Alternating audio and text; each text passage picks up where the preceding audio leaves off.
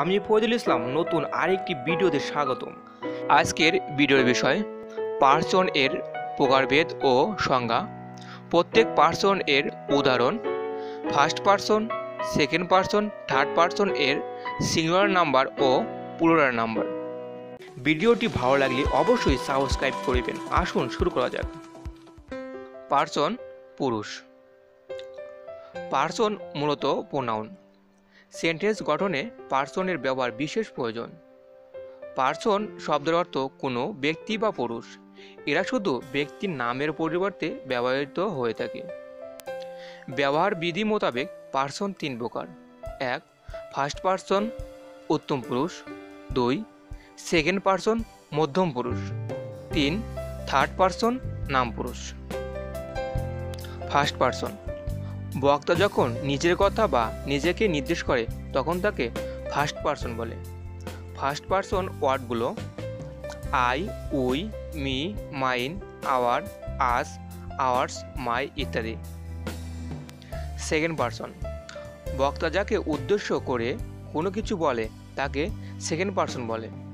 Second person ওয়ার্ডগুলো, you, your, thou, yours ইত্যাদি। Third person যার সম্বন্ধে যদি কিছু বলা হয়, তাকে থার্ড পার্সন বলে।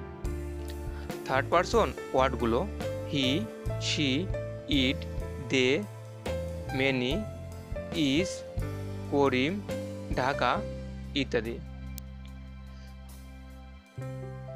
Note first person second person ব্যতীত সকল নাউন প্রোনাউন থার্ড পার্সন এর অন্তর্ভুক্ত।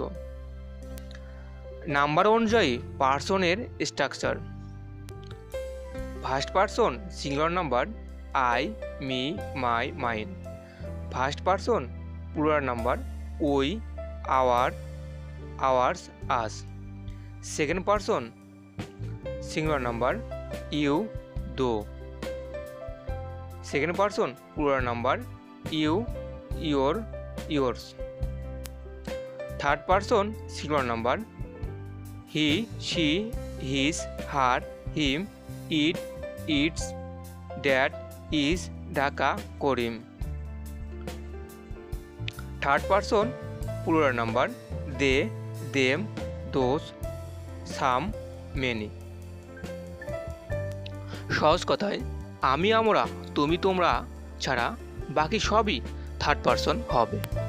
ফরিদ অনলাইন স্কুলের পরবর্তী ভিডিও পেতে লাইক কমেন্ট শেয়ার এবং সাবস্ক্রাইব করুন।